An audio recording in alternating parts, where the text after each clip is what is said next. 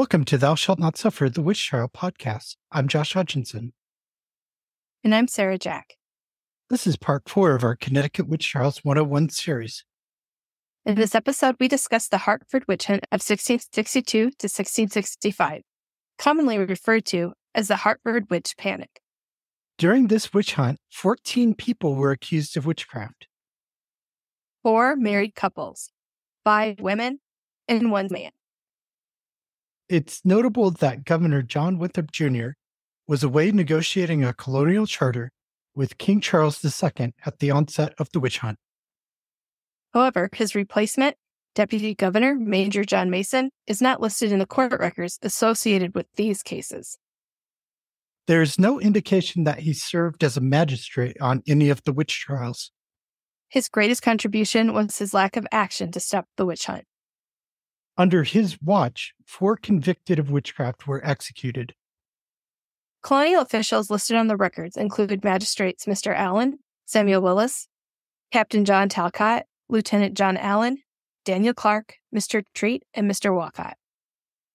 Physician Bray Rossiter, assisted by Mr. William Pitkins. Grand jurors were William Wadsworth, Thomas Wells, Benjamin Newberry, Joseph Fitch, William Pickens, James Steele, William Hayden, John Bissell, Samuel Wells, John Kilburn, Anthony Hawkins, and Benedict Albert. And trial jurors were Edward Griswold, Lieutenant Walter Filer, Ensign Olmsted, Samuel Borman, Gregory Winterton, John Cowles, Samuel Marshall, Samuel Hale, Nathaniel Willett, John Hart, John Wadsworth, Robert Webster, and John Gilbert and ministers Samuel Stone, Samuel Hooker, Joseph Haynes, and John Whiting were witnesses to the position of Anne Cole.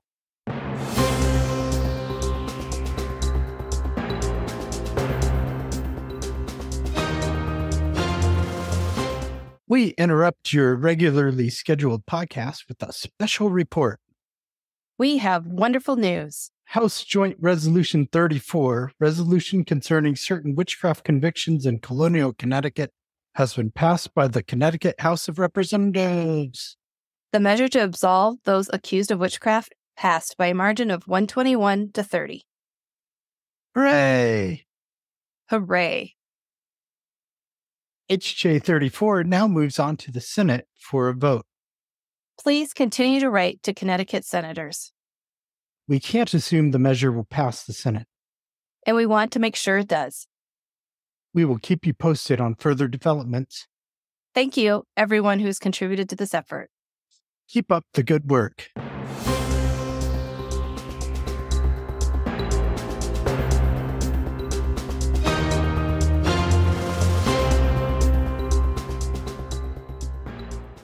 The two chief accusers were the allegedly bewitched Elizabeth Kelly and the allegedly possessed Anne Cole.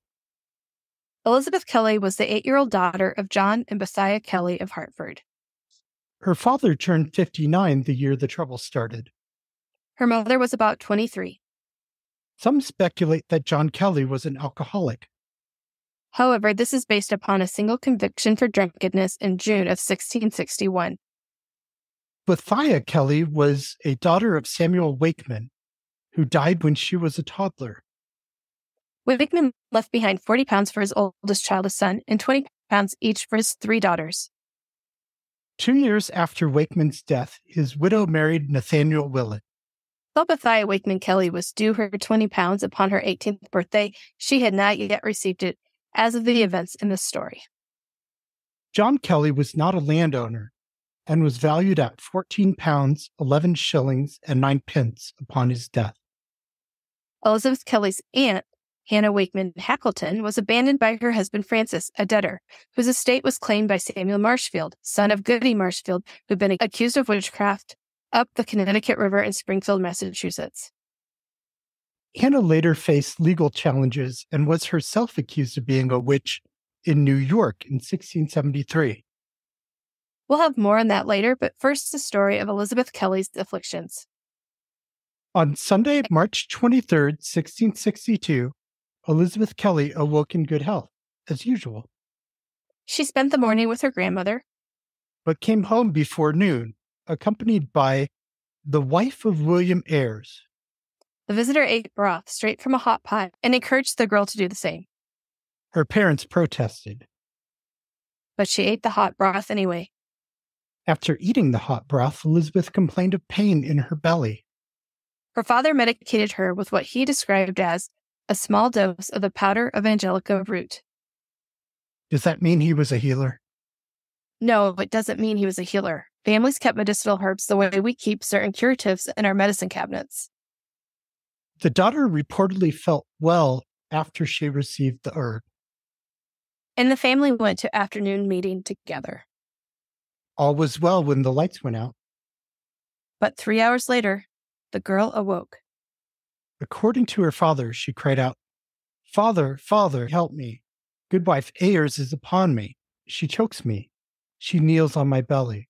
She will break my bowels. She pinches me. She will make me black and blue. Oh, Father, will you not help me? She does seem to experience having a vision of a witch being upon her during her sleep. And people who've reported being hag ridden describe seeing just such a sight of witch on them and they're unable to move, but they feel pain and the witch hurts them. What did her dad do after this complaint? He told her to lie back down and be quiet so she wouldn't wake her mother. The girl did as she was told. But then she woke up and screamed even louder about Goodwife Ayres afflicting her. This time, Dad carried Elizabeth away and put her in her mother's bed. The young girl continued complaining about Goody Ayres torturing her. She said, Goody Ayres torments me. She pricks me with pins. She will kill me. Oh, father, set on the great furnace and scald her. Get the broad axe and cut off her head. If you cannot get a broad axe, get the narrow axe and chop off her head. The parents, quote, used what physical helps we could obtain, and that without delay. Meaning they likely gave her additional medicinals. Unfortunately, none of these physical helps worked for the girl, and she continued to suffer the next day. Bethia Kelly reported that she was at home with the wives of Thomas Waples and Nathaniel Greensmith on Tuesday when Goodwife Ayres came to visit Elizabeth. While Ayres was there, the girl slept peacefully and seemed to be okay. But that night, Elizabeth told her parents Goodwife Ayres had promised to give her fine lace if she stopped accusing her of witchcraft. She encouraged her father to complain to the magistrates about Goodwife Ayres. Her condition continued to be poor Wednesday. At some point, she told her parents, Goodwife Ayres chokes me. Then she was speechless. Later that night, she passed away. Was she bewitched to death? Or is there a simpler explanation for her passing? Her symptoms matched those of poisoning. It is possible that she was indeed poisoned, but likely not deliberately. Remember the angelica root? Her father gave her some to calm her stomach. But angelica can easily be mistaken for other plants, Poisonous plants. including hemlock.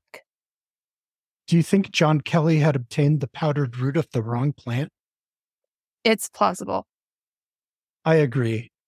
The symptoms of hemlock poisoning follow the same pattern described by her parents. According to the National Capital Poison Center, hemlock poisoning in humans, quote, affects the nervous system and causes tremors, paralysis, and breathing difficulties. Muscle damage and kidney failure may occur in severe cases. The Cleveland Clinic says symptoms include restlessness or confusion, muscle weakness, muscle paralysis, and muscle death. The muscular paralysis can lead to the loss of speech, This is followed by respiratory failure. and then death due to a shortage of oxygen.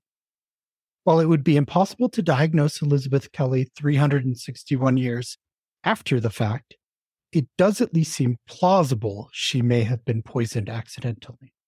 What we do know is that the story didn't end there. Not by a long shot. Following the death of Elizabeth Kelly, her parents invited the neighbors to come and view the body. They were asked to take notes of what they saw. After he laid his daughter's body on the form, John Kelly asked Goodwife Ayers to wipe a little something from the girl's mouth. Next, Goodman Kelly asked Goodwife Ayers to roll up Elizabeth's sleeve. However, the sleeve was too tight. John Kelly tore both of the girl's sleeves and showed the assembled crowd the backs of her arms. Witnesses later stated the arms were black and blue from elbow to shoulder.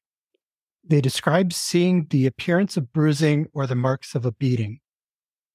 Now the body was rolled onto its right side, then onto the belly. A noxious odor came from the body, driving some witnesses out of the room. The body was placed in a coffin, and John called everyone back to the room.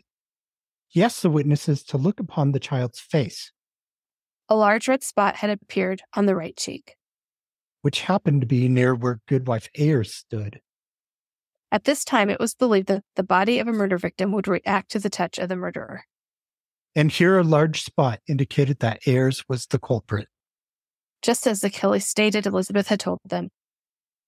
Now, Magistrate Samuel Willis ordered an autopsy to be performed by physician Bray Rossiter with help from Mr. William Pitkins. Rossiter wrote out his findings. Rossiter and Pitkins swore to the truth of the document before the magistrates on March 31st. According to Rossiter, he found six, quote, particulars preternatural. The body was limber. The skin inside the abdomen was dark blue, yet no sign of illness was found in the bowels. Blood had pooled in the throat, but was not coagulated. Blood had pooled in the back of the arm. The gallbladder was broken. The throat was constricted and a large pea could not be pushed through the opening. Modern historians believe Rossiter mistook signs of decomposition for signs of the preternatural. Because the autopsy report does not specify the date the body was examined, it is impossible to know how badly the body would have decomposed. The body had been decaying since the 26th. This autopsy report has been used in more recent times to diagnose Elizabeth Kelly with diseases, including bronchial pneumonia and diphtheria epiglottis. At this point, it's unclear to us what actually caused the death of Elizabeth Kelly. The one thing that we do know is that it wasn't caused by witchcraft. The hemlock theory came about because Sarah and I were researching the uses of angelica root and discovered that it is commonly confused for hemlock and other related plants that are toxic to humans and animals. It's a working theory. We think it's plausible, but there's no real solid evidence. Even though people have tried to diagnose Elizabeth Kelly years after the fact, it's really difficult to say based on Bray Rossiter's autopsy report what actually happened. When Rebecca Greensmith testified against her husband, she alleged several other individuals as a witch, including Goodwife Ayers, whom she claimed was at a party with her in the woods drinking sack. In this testimony, she named her husband, Nathaniel Greensmith, Goodwife Seeger, Goodwife Sanford, Goodwife Ayers, James Wakely, Peter Grant's wife, Henry Palmer's wife, and Judith Varlet. William and Goodwife Ayers were arrested for witchcraft in 1662. They fled Hartford when they were accused. Around the same time that Elizabeth Kelly fell ill, a young woman in Hartford began behaving rather strangely. The supposedly possessed Anne Cole, the other accuser of the Hartford witch hunt, was probably unmarried, living with her godly father's family, John Cole. It is suggested that she may be in her early 20s. David D. Hall states that the origins of the Hartford witch hunt can be traced back to her when she began to suffer diabolical possession. The story of Cole's afflictions came from minister correspondence, one such letter after the fact, at least 20 years. It was a letter from Minister John Whiting to Minister Increase Mather in Boston. In that letter, Whiting admits he has lost the notes he took during his observations of Anne, but gave details anyways, two decades later. Because he had lost his Anne Cole notes, he was expecting Increase to get reports from others that he had beckoned to share reports. We have no additional reports today. The other minister interrogators leading the investigation of this hunt included the elder minister Samuel Stone of Hartford, the young Sam Hooker of Farmington, the young Joseph Haynes, a Presbyterian of Hartford, and the young John Whiting of Hartford. These ministers were not all Congregationalists. Haynes was a Presbyterian minister. Anne Cole is said to have spoken about, quote, a company of familiars of the evil one. Although we don't know their names, it is told that she named them. The names must have been lost with the notes. Anne is reported to have said that it was the intention of the familiars and the evil one to stop her from getting married, To ruin her name. and to afflict her body. Anne's verbal behavior was troubling to the minister. She muttered unintelligibly, which we know from several other trials is viewed suspiciously. In this case, it was the accuser muttering and not the accused. Muttering at this time was dangerous. Could easily get you accused of speaking curses. Also, to the minister's dismay, Anne spoke about the witches with a Dutch tone. Reverend Stone described the accent as troubling. He said Anne had not been exposed to the Dutch dialect in a way that she should be able to imitate it. Stone claimed this was unusual, even though he was aware that Anne gave details with a Dutch tone regarding an unnamed afflicted girl who was the neighbor of some Dutch. Samuel Stone would likely have known the unnamed girl and would have known that Anne was also familiar with her and therefore the Dutch accent of her neighbor. He was contriving with artifice to make a case. The ministers prevaricated that the Dutch tone indicated that the possessing demonic voice within Anne was confirming the accused people were witches. Also, it is reported that several times Anne had violent bodily motions and caused interruptions in church. Afflictions in church were done by Anne and two other afflicted women. The behavior was so upsetting, a godly woman is reported to have fainted. In her fits, Anne named her tormentors as Elizabeth Sigger and Rebecca Greensmith. Anne Cole lived next to Rebecca Greensmith, who was specifically characterized negatively by Reverend Whiting as considerably aged. She was widowed twice, married to Abraham Elson and then Jarvis Mudge.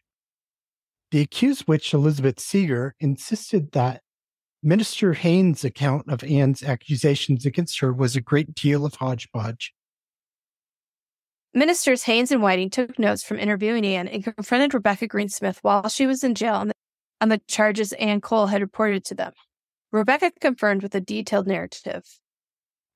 Later, after the minister interrogation that led to her confession, Rebecca told an unnamed jail visitor essentially that after so much pressure from Whiting, she could have torn him to pieces, that she had to yield from the pressure.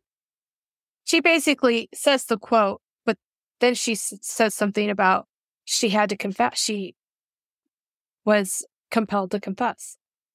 When Mr. Haynes began to read, she could have torn him in pieces and was as much resolved as might be to deny her guilt as she had done before. Yet after he had read a while, she was as if her flesh had been pulled from her bones, such was her expression, and so could not deny any longer. Whiting confirms to Increase Mather in his 1682 letter that Anne went on to live so successfully because the witches had been executed or had fled. According to Whiting, Anne went on to marry, was a godly churchwoman, and had children of her own. Whatever was really responsible for the afflictions of Elizabeth Kelly and Anne Cole, testimony soon poured in. Joseph Marsh testified that he was present when Goody Ayres promised Elizabeth Kelly a hoary lace in exchange for the girl's silence. Samuel Burr and his mother testified that Goody Ayres had once told them about a time when she met the devil while she lived in London. Robert Stern claimed he had seen Elizabeth Seeger and three other women in the woods dancing around a kettle with, quote, two black creatures like two Indians, but taller. He claimed to see Rebecca Greensmith among the women, who he knew by their habit or clothes. Goodwife Greensmith allegedly cried out, Look who is yonder! And the four women ran away up a hill. The mysterious black quote things approached Stern, but he left to go home. Maria Screech testified that Goodwife Stedman had told her that Mr. John Blackleach had bewitched Screech's sow, as he had done to several of her own.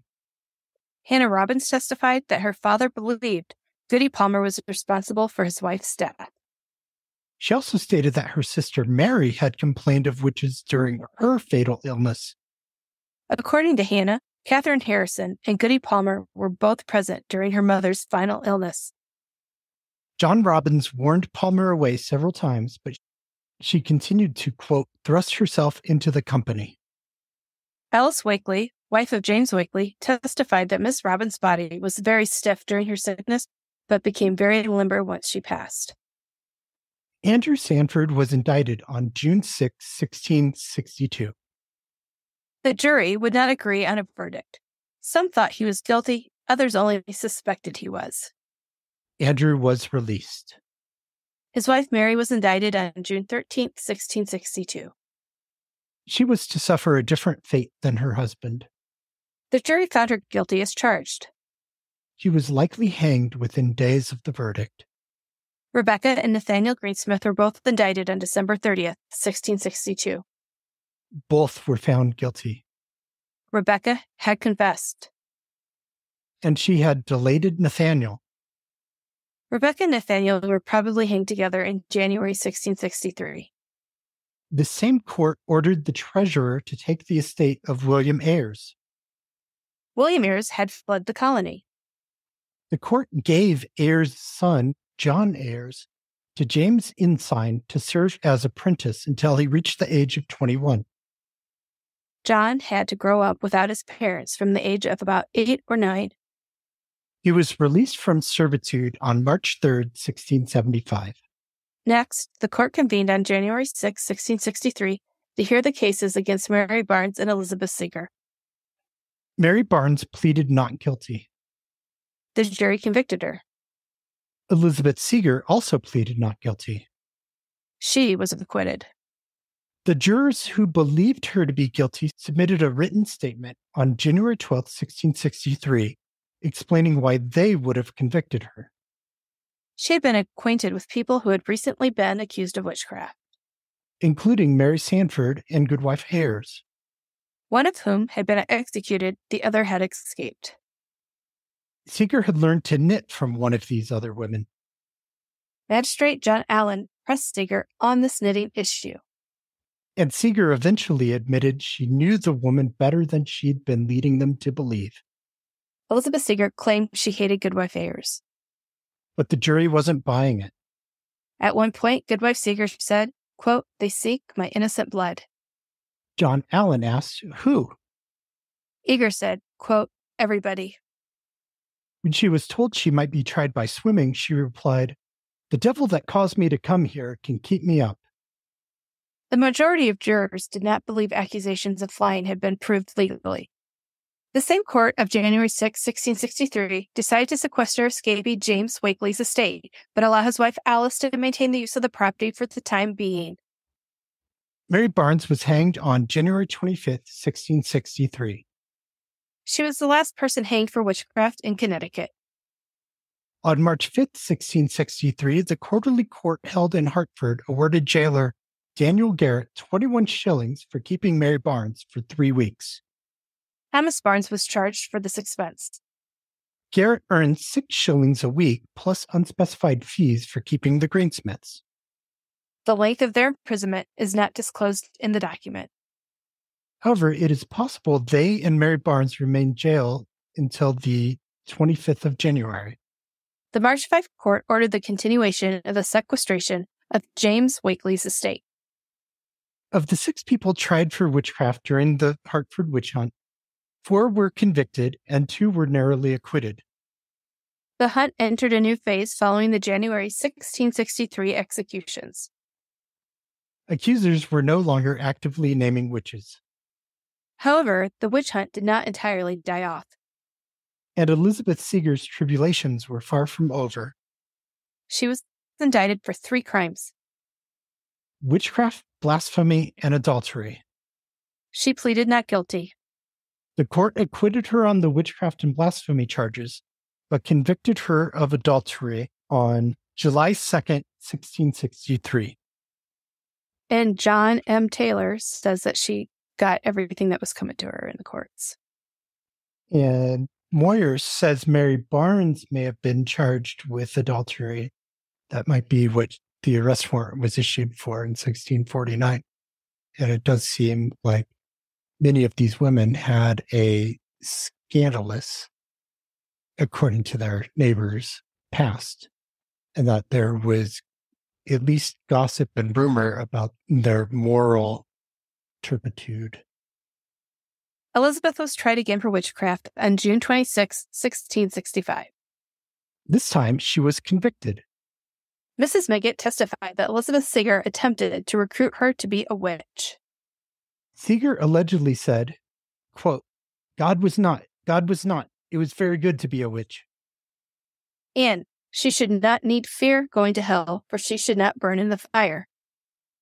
Miggot also claimed Siger once muttered something unintelligible, which caused Miggot to flee in terror.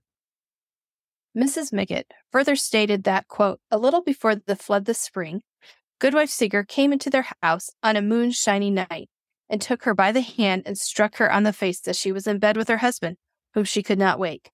And then Goodwife Siger went away, and Mrs. Miggot went to the door, but durst not look out after her.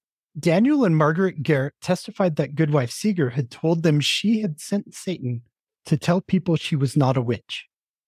Goodwife Garrett said she asked Siger why she had, quote, made use of Satan to tell them why did she not beseech God to tell them she was no witch. Siger replied that Satan knew she was no witch. Edward Stebbing, Stephen Hart Sr., and Josiah Willard testified that Goodwife had used scripture to justify her sending Satan. She had cited Acts chapter 19, verses 13 through 16. Acts 19:13, King James Bible, quote, "The certain of the vagabond Jews, exorcists, took upon them to call over them which had evil spirits the name of the Lord Jesus, saying, We adjure you by Jesus whom Paul preacheth." Verse 14. And there were seven sons of one Sceva, a Jew, and chief of the priests, which did so. Verse 15, quote, And the evil spirit answered and said, Jesus I know, and Paul I know, but who are ye? Verse 16 And the man in whom the evil spirit was leaped on them and overcame them and prevailed against them, so that they fled out of that house naked and wounded. Siger was saying she had commanded Satan with the authority of Jesus' name to tell her neighbors that he did not know her. He knew she was not one of his own. According to Goodwife Garrett, William Edwards told Elizabeth Siger that she flew. She replied that Edwards made her fly. Goodwife Garrett then told Siger, You own you did fly. Goodwife Siger replied, If I did fly, William Edward made me fly. Goodman Garrett confirmed his wife's testimony. Goodwife Garrett then told a story about a good cheese gone bad. She said she had once made a most excellent cheese at a time when Goodwife Siger was husking corn in the Garrett barn. Garrett asked her husband to bring her the special cheese. When she got the cheese, one side was filled with maggots. Garrett cut off the bad part and threw it in the fire. At that moment, Elizabeth Siger cried out in pain so loudly that Garrett heard her from the house. Siger then came into the home, crying of pain. She sat, wringing her body and crying out, What do I ill? What do I ill? Goodman Garrett again confirmed his wife's testimony. This is another instance of the folk belief that witches reacted when objects they'd bewitched were burned. Goodwife Watson said that when she told Elizabeth Siger that Anne Cole's mother wanted to see her, Siger replied that she knew Anne was crying out against her. Siger said, They missed their mark. They aimed at me. Why do they not lay hold of others as well as me? Why do they lay hold of the chief actor herself?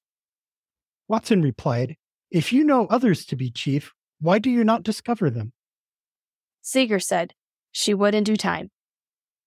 On July 8, 1665, Governor John Winthrop Jr. met with magistrates to discuss the cases of Hannah Wakeman Hackleton and Elizabeth Siger, who had both been convicted of felonies and faced the death penalty.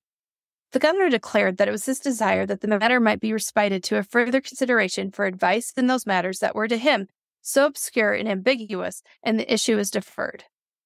On May 18, 1666, Elizabeth Seeger was finally released from imprisonment. At a special session, the Court of Assistants declared that the jury's guilty verdict did, quote, not legally answer the indictment. In addition to the trials of six witchcraft suspects, eight other individuals were caught up in the web of accusations. Some moved before being arrested, others managed to escape, and one couple may have sued their accusers to escape prosecution.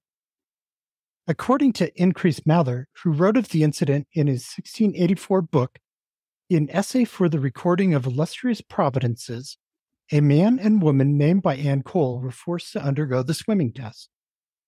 The two had their hands and feet bound and were thrown in the water. Rather than sink, as an innocent person would do, each of these victims floated, quote, after the manner of a buoy, part under, part above the water. A witness volunteered to be the guinea pig in an experiment to see if an innocent person would also float like a buoy. After being gently laid on the water, he immediately sunk right down. Mather went on to write that the swimming test was not admitted as legal evidence. And they were not, quote, proceeded against on any other account. Mather ends by saying the couple, quote, very fairly took their flight, not having been seen in that part of the world since. This last comment leads to theories that the mystery couple was the Ayers who escaped. The other couples involved were the Sanfords, Greensmiths, and Blackleaches, and none of them took flight. No recorded indictments exist to show that the Blackleaches were ever proceeded against.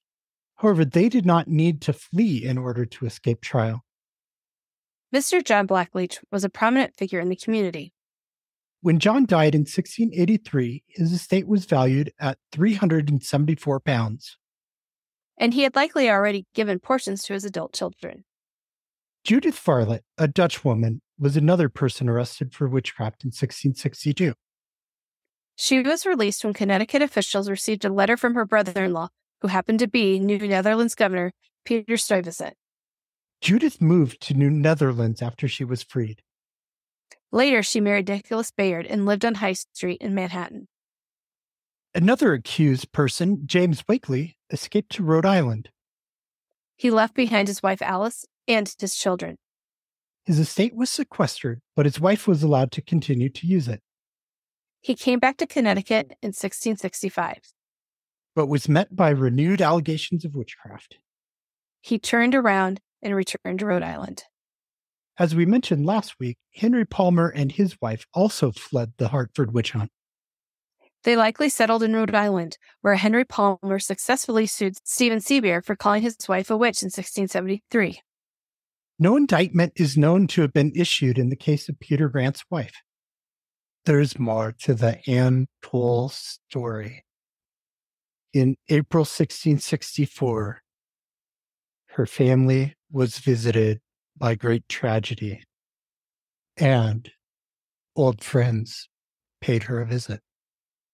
According to Increase Mather, in his book, An Essay for the Recording of Illustrious Providences, wherein an account is given of many remarkable and very memorable events which have happened this last age, especially in New England. Mather writes On the 28th of April, AD 1664, a company of the neighbors being met together at the house of Henry Cunliffe in Northampton, in New England, to spend a few hours in Christian conferences and in prayer, there happened a storm of thunder and rain. And as the good man of the house was at prayer, there came a ball of lightning in at the roof of the house, which set the thatch on fire grated on the timber, pierced through the chamber floor, no breach being made on the boards, only one of the joists somewhat raised. Matthew Cole, who was son in law to the said Cunliffe, was struck stone dead as he was leaning over table and joining with the rest in prayer. He did not stir nor groan after he was smitten, but continued standing as before, bearing upon the table. There was no visible impression on his body or clothes. Only the sole of one of his shoes was rent from the upper leather. There were about 12 persons in the room, None else received any harm. Only one woman, who is still living, was struck upon the head, which occasioned some deafness ever since. The fire on the house was quenched by the seasonable help of neighbors. And Mather also writes For I am informed that when Matthew Cole was killed with the lightning at Northampton, the demon which disturbed his sister Anne Cole, 40 miles distant in Hartford, spoke of it, intimating their concurrence in that terrible accident. And so ends the story of the Hartford witch hunt. Here's Mary with a minute with Mary. Goody Bassett. Goody is short for good wife. This term referred to a married woman of middle to lower class in colonial times, and it was often how women were referred to in the court records. Goody Bassett was one of those women. The only reason historians know of her existence is because Goody was most likely hanged for a crime she did not commit witchcraft. Historians only know that fact based on one surviving colonial court record, which stated, and I quote, the governor, Mr. Cullick, and Mr. Clark are desired to go down to Stratford to keep court upon the trial of Goody Bassett for her life, end quote. That's it.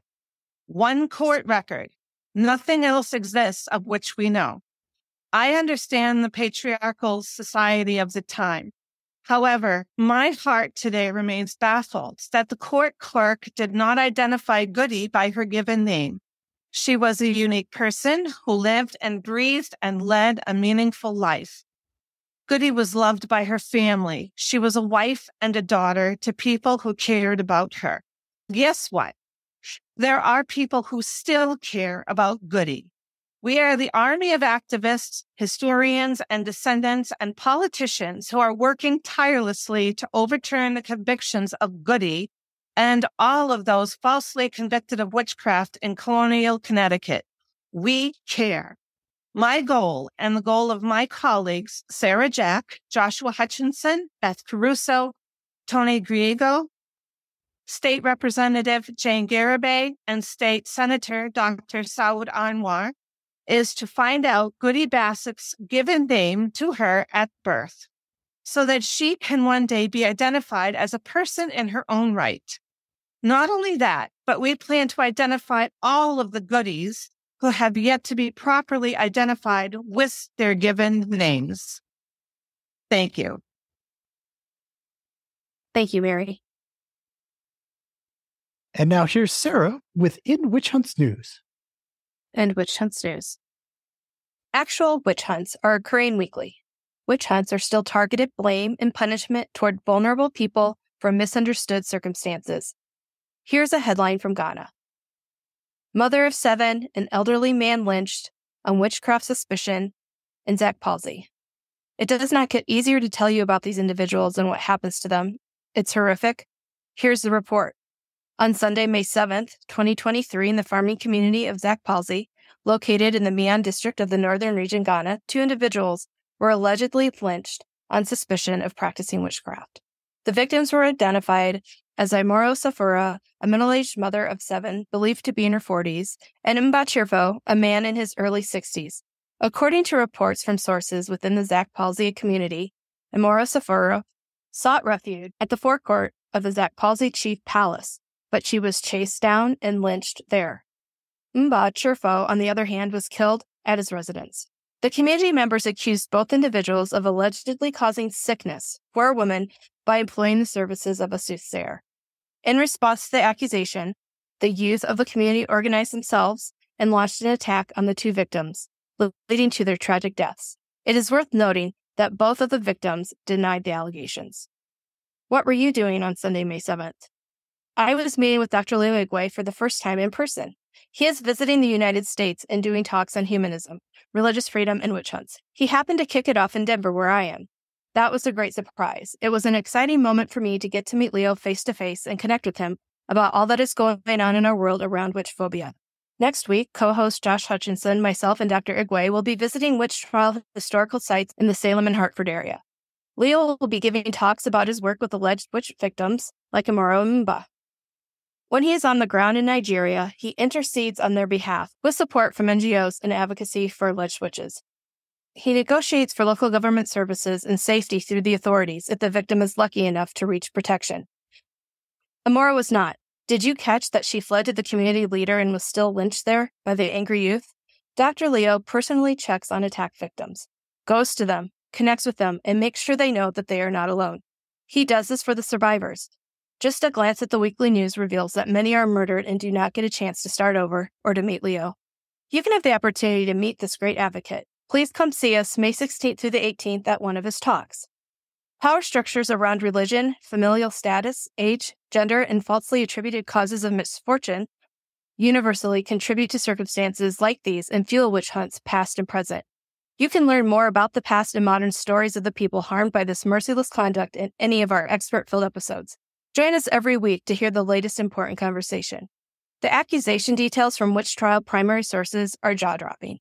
The news of current attack victims across the globe is jaw dropping. We ask, why do we hunt witches? How do we hunt witches? How do we stop hunting witches?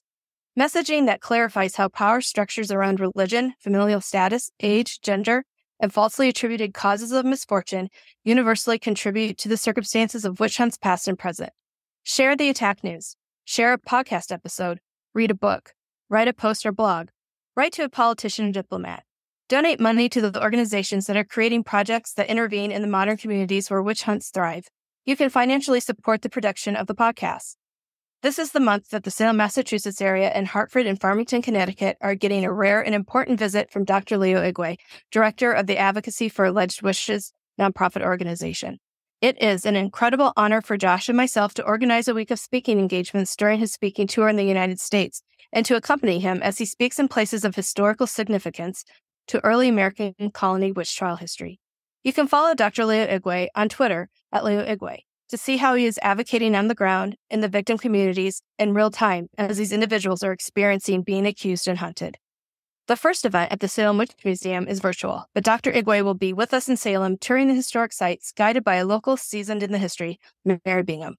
Tuesday, May 16th, 2023 is your chance to experience a very special evening of in-person conversation with Leo at the Rebecca Nurse Homestead in Danvers. Please see the Facebook event for details. Isn't this a great week? Make sure you mark your calendars. Next, you can enjoy an in-person speaking event with Dr. Igwe at Central Connecticut State University on Wednesday, May 17th at 6 p.m. While in the Hartford area, Leo will be touring known witch trial historic sites with author Beth Caruso. On Thursday afternoon, May 18th at 4 p.m., Leo will be presenting at the Stanley Whitman House Living History Center in Farmington, Connecticut. Look for Facebook events for all of these occasions posted by our social media. Come here, Leo. Invite your friends and family. See you there. Get involved. Visit endwitchhunts.org. To support us, purchase books from our bookshop, merch from our Zazzle shop, or make a financial contribution to our organization. Our links are in the show description. Thank you, Sarah. You're welcome. And thank you for listening to Thou Shalt Not Suffer, the Witch Trial podcast. Join us again next week. Subscribe wherever you get your podcasts. Visit us at thoushaltnotsuffer.com. Remember to tell your friends, family, acquaintances, neighbors, and anyone you meet about the show. Please support our efforts to end witch hunts. Visit endwitchhunts.org to learn how. Have a great today and a beautiful tomorrow.